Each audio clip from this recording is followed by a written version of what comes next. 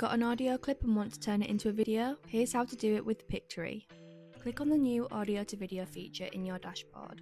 Upload your audio file, then select the language of your audio and click Open Transcript Editor. Pictory supports MP3 and WAV files up to 5GB or 180 minutes long. Once uploaded, Pictory will automatically transcribe your audio. Here, you can clean up your transcript by moving silences and cut out filler words like ums and ahs. You can also style your captions and add your branding right inside the transcript editor. Once you're ready to customize your video even further, click Create Video. Pictory will break your audio into scenes and match each section with relevant visuals automatically. From here, you can edit everything swap visuals, tweak text, and add caption transitions to make it even more dynamic.